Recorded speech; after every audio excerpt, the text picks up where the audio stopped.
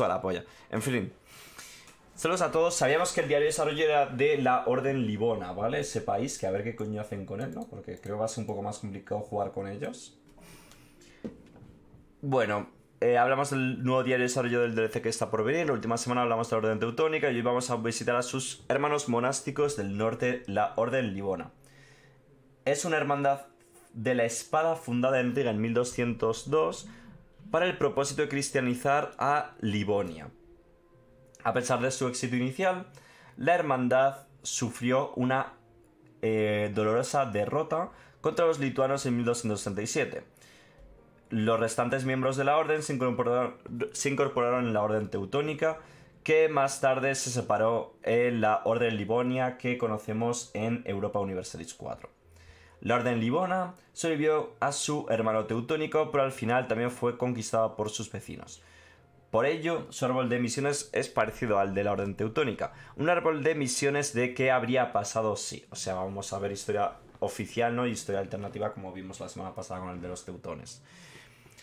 Aunque este eh, está como más anclado a la realidad, ya que la Orden Livona sí que persistió como un estado vasallo de los polacos, conocido como Kurlandia, un tiempo después tras la hasta la tercera partición de Polonia bueno, mejorar nuestra diplomacia, eh, los caballeros teutónicos, proteger Riga, la Confederación Livonia, expandir el ejército, y misiones están por verse, ¿no?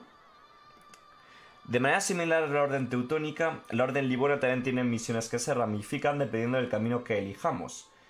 Sin embargo, tienes que completar la columna en medio primero para desbloquear tus misiones. Esta columna en medio, como veis, es reforzar nuestra autoridad y establecer la dieta Livonia. Vale. La de las misiones son se explican por sí mismas, como proteger Riga o los caballeros teutónicos, en los cuales te piden que conquistes Riga, y a la orden teutónica, eh, respectivamente. La más interesante es la misión de la Confederación Livonia. En 1444, la orden Livona era la estaba mucho más. no estaba tan unificada como se muestra en el EU4 y tenía varios cuatro arzobispados conocidos, así como el arzobispado de Riga dentro de ella, Así que eran vasallos realmente de la Orden Libona, sino aliados. Debido al estancamiento del mapa y que tenemos problemas con introducir nuevos países al juego, hemos decidido tomar un acercamiento más abstracto a la Confederación Libona. Y vemos que tienen cuatro privilegios absolutos concedidos al clero.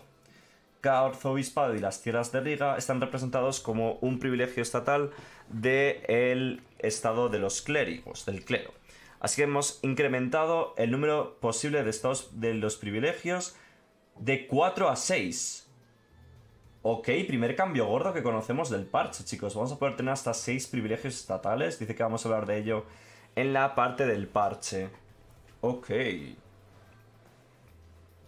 Cada uno de estos privilegios tiene su propia penalización, lo cual hace que estos arzobispados sean problemáticos de mantener Afortunadamente no tienes que esperar eternamente hasta que el clero leal lo revoque.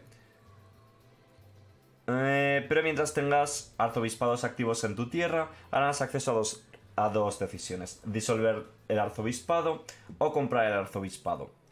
Cada una de estas, de estas decisiones em, es para hacernos de uno de estos. deshacernos de uno de estos arzobispados. Comprarlo nos pide que no tengamos ninguna deuda y no tengamos déficit y tener un capital de 100 ducados. Y, activar el siguiente evento, ¿no? Y aquí interactuamos con el evento. Vemos al arzobispo de Dorpat. Debemos comprar uno u otro, ¿no? Vale, parece que están el de Reval, el de Curlandia Osel y el de Dorpat. El coste de estos arzobispados es relativo a la tierra que históricamente tenían. Por ejemplo, el arzobispado de Reval era bastante pequeño y solo cubría la ciudad, mientras que el arzobispo de Orpad cubría la provincia en completo. En general, el patrón es este. Cuanto más alto vayas en las opciones del evento, más caro va a ser. Si no tienes suficiente dinero, el problema... Eh, puedes tomar la decisión de disolver el arzobispado, que puede ser mejor. Al precio de 2 de estabilidad puedes activar el siguiente evento en el cual pues acabas con un arzobispado, el clero pierde lealtad y se alzan unos rebeldes religiosos. Tiene sentido, ¿no?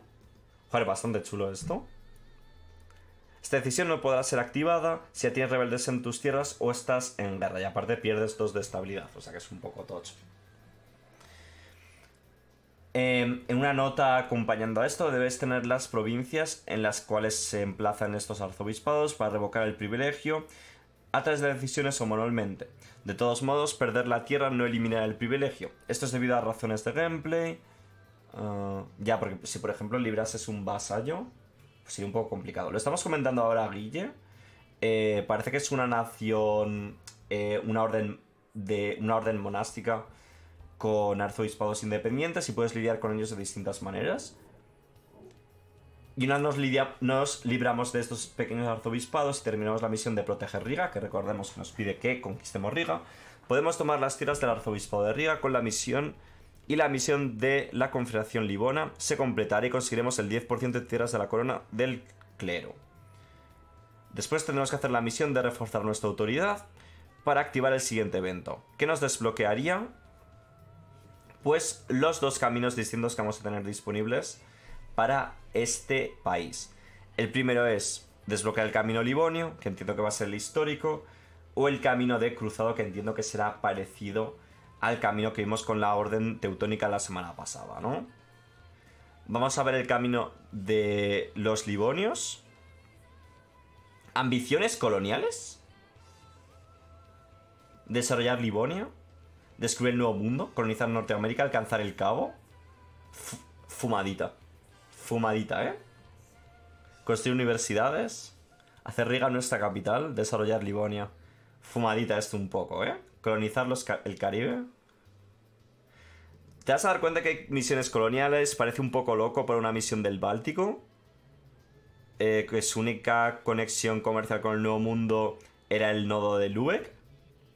La razón para esto es que el camino Livonio está compartido con Kurland. Que vamos a hablar más de Kurland en la parte gratuita del parche. Ok, Kurland es un país que ya existía, chicos. Kurland tiene buenas ideas coloniales. Pues mira, ahí está lo que nos dice Pantoy. Entonces podemos jugar con Kurland como país colonial. Está chulo eso entonces, ¿no? Son mucho obvios, son bastante obvias lo que hacen las misiones, ¿no? Descubrir el nuevo mundo, colonizar Norteamérica, colonizar puertos clave de África y descubrir la India. Eh, podemos conseguir bonus permanentes del trade, como 10% de eficiencia de comercio, para dominar el comercio global, y 10% de fuerza de poder colonial global por colonizar la India. Lo forma Livonia. Ah, es un país que forma Livonia.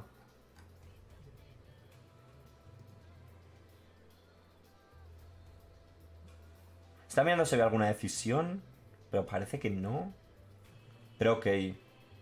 Vale, país colonial interesante entonces. No me lo esperaba para nada, ¿eh? Lidiar con la Hansa nos pide derrotar a Lubeck y ganaríamos la siguiente recompensa. Cuatro años de ingresos por comercio. Y debilitaríamos el poder comercial allí, ¿no? Ya, pero habrá que conquistar Lubeck, ¿no? Para llegar. A ver, yo diría que te tendrían que dar un poco el alcance colonial, ¿no? Habrá que mirar las ideas de Kurlandia. Voy a mirarlo. Kurland, EU 4 Wiki. Kurland, nación formable efectivamente por la Orden Livonia y por Riga. Y vemos que tiene, salvo que lo cambien, ¿no? Tradición del ejército, defensas fuertes. Menos malestar, poder comercial. 15% de alcance colonial. A ver, sin más, eh, tío. Yo qué sé. Yo qué sé, tío. Un poco sin más, eh. No sé. Otra parte es secularizar la orden, que nos lanza el siguiente evento. En el cual cambiamos el nombre a Livon y conseguiríamos nuevas ideas y tradiciones. Y pasaríamos en una monarquía.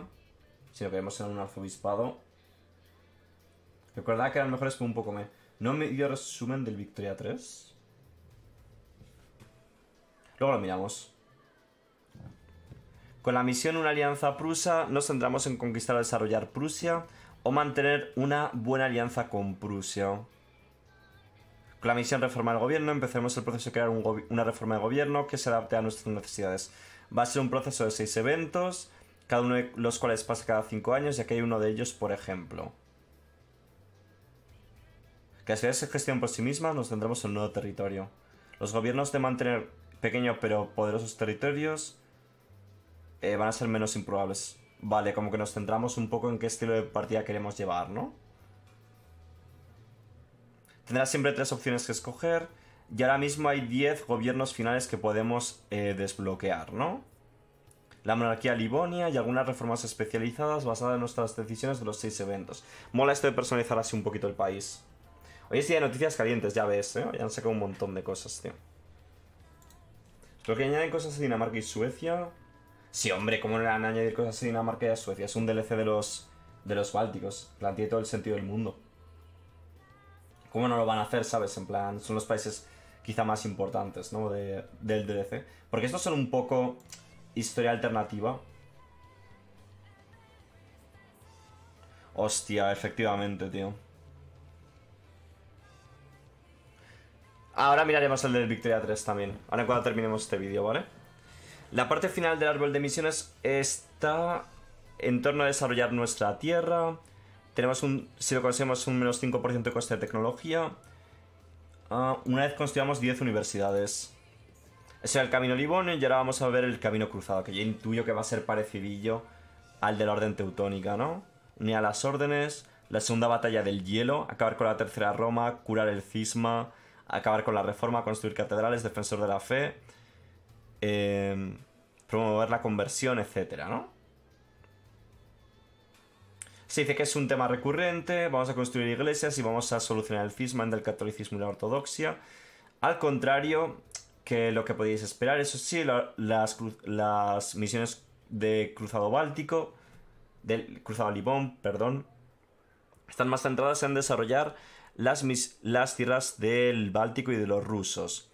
Es un estado cruzado más hacia arriba, ¿no? Eh, vimos que el estado cruzado teutónico era más de estepas, más de caballería y tal, y este va a ser más de una nación hacia arriba, ¿no? Nuevo privilegio. Se llama reclutamiento religioso. No está más equilibrio del clero y más influencia. Cada provincia católica que tengamos con una iglesia nos da un 15% de manpower extra. Y aquellas que tengan una catedral nos dan un 33% de manpower. Ok. La misión Defensor de la Fe nos pedirá que seamos el Defensor de la Fe durante 25 años sin que nos lo quiten. Y nos dará lo siguiente de recompensa. Más mejores relaciones, más equilibrio de lealtad del clero y más influencia papal. Está fresquísimo, ¿eh? La segunda columna se centra en gestionar la reforma y nos permite reformar nuestros caballeros y militarizarlos incluso un poquito más, ¿no? Nos da eh, el imperio cruzado. Imperio en cruzada, ¿no? Sería más bien Crusading Empire, imperio que está haciendo una cruzada, no sé cómo lo traducirán. Nos da eh, mecánica de militarización, los gobernantes y herederos pueden ser generales más dos de fuerza de misión, tolerancia a la fe verdadera, casus belli permanente, contra herejes eh, vecinos, o sea no hace falta tener las ideas religiosas. Manpower en provincias de fe verdadera más 33%, que podemos combar con este 33% de aquí arriba. Y menos capacidad de gobierno, ¿no? O sea que es un país que tenemos que hacer hacia arriba. Ya ves, ya es, puedes sacar unas soldadas aquí que flipas. Y al final tenemos que conquistar y convertir Rucenia Rusia y desarrollar estas tierras. Finalmente tenemos una misión que nos pide que apoyemos otras naciones católicas que hagan frontera con países herejes o religiosos. En la mayoría de casos son los otomanos. Sí, tiene muy buena pinta, ¿eh? Salomón, la orden Libona. Vale, vamos a echar un vistazo a, no, a más cambios que vamos a tener con el parche gratuito 1.34. Ahora vamos a ver cambios al protestantismo, que es una religión bastante versátil que se, está un poco pocha desde que mejoramos el catolicismo. No pensamos que sea muy débil. Aunque es un buen momento para hacer el protestantismo un poco más eh, atrayente, le hemos añadido tres nuevos aspectos de la iglesia.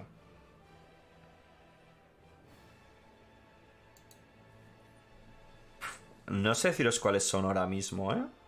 El de coste de ideas y el de producción ya estaba. Creo que el del malestar también. El de expansión agresiva creo que es nuevo. El de cabeza de la fe es nuevo. Y este de aquí, el del. El del. Los tres últimos, ¿verdad? Son estos tres justos. Son los que menos me sonaban. Así que estos tres de aquí, muy chulos. Muy útiles, ¿no? Un poco más útil el protestantismo. Y finalmente estamos experimentando con una forma de cambiar entre aspectos de la iglesia que haga que merezca la pena. Cuando selecciones un aspecto, ganarás un modificador pasivo durante 10 años que incrementará la efectividad de ese efecto de iglesia en concreto.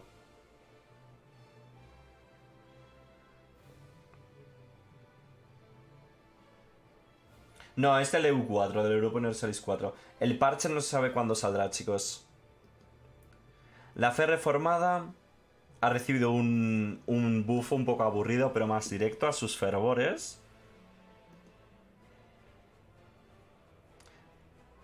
Vemos su foco comercial, que le da 10% de dirección de comercio.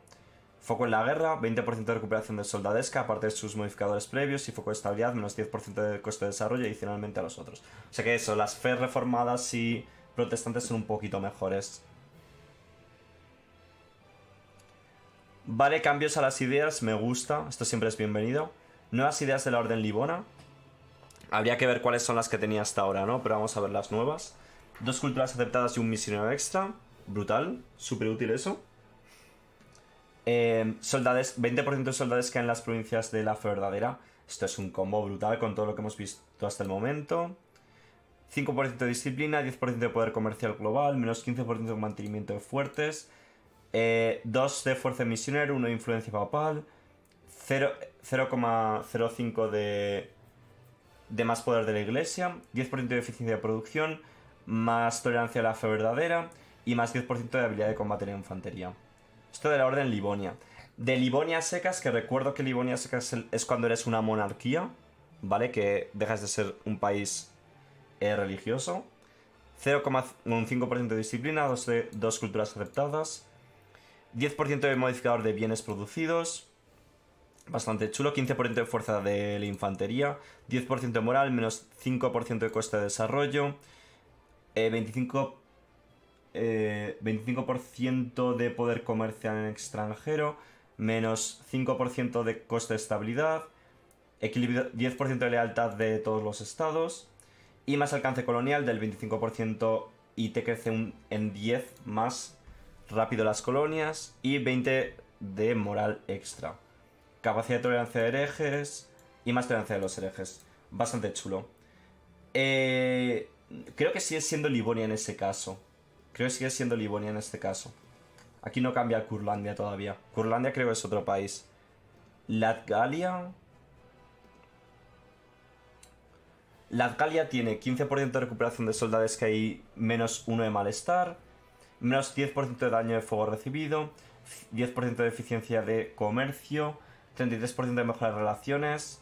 O 30% mejor de mejora de relaciones más tolerancia de los herejes, más culturas aceptadas, menos coste de producir, de promover una cultura aceptada en 25%, más defensividad del 20%, menos caída de prestigio del 1%, más autonomía, menos autonomía global y menos 10% de influencia de los nobles. Están bien todas las ideas, más cercanas a lo que suele ser hoy en día. Carelia dice que no va a tener nuevo contenido, pero lo vamos a, lo vamos a mencionar. Ser hereje y tener tecnología 10. No sé. No sé, no sé. Carelia, menos 10% de coste de creación de, de reclutamiento, menos 10% de atrición, más 15% de recuperación del ejército, la soldadesca, más 15% de producción de, de manpower, perdón, menos coste de barcos, del 10%, más desvío de comercio del 10%, menos 5 años de nacionalismo, 33% más de límite de tropas, más 0, más 1% de fuerza misionero global y más autoridad patriarcal. Entiendo que este es un país ortodoxo, ¿no? Y 10% de fuerza de eh, comercio, ¿no? Con Riga y Orden Livonia. Aquí vemos el nuevo país que es Livonia. Es un nuevo país formable para los bálticos de cultura alemana, que es una nueva cultura en el Báltico. Vale. Sí, la ironía de darle un color azul teniendo en cuenta que Prusia está al lado, ¿no? Y aquí vemos la guía, ¿no? Dice, finalmente, las decisiones sobre tomar el electorado de tu base ya han sido recibidas bastante bien y la gente les ha pedido que sea una mecánica estándar. Estas decisiones van a ser parte del juego base y no van a estar desbloqueadas para el árbol de misiones teutónico. Adicionalmente, el privilegio estatal dar autonomía a los ortodoxos puede ser desbloqueado por las misiones tempranas de Polonia, Lituania y Venecia también. Esto ha sido todo por hoy. La semana que viene vamos a hablar de la OPM de Riga y unas reformas de gobierno que vamos a añadir al juego base. Joder, pues bastante guapo, tío. Bastante, bastante guapo, tío. Sí, señor. Me ha molado. Me parece un poco triste que la semana que viene vayamos a hablar solo de Riga, que me parece un poco meme. Me mola, obviamente, que Riga vaya a tener su propio contenido. Está genial eso. Me mola que Riga vaya a tener su propio contenido, pero es un poco XD. Realmente, ¿sabes?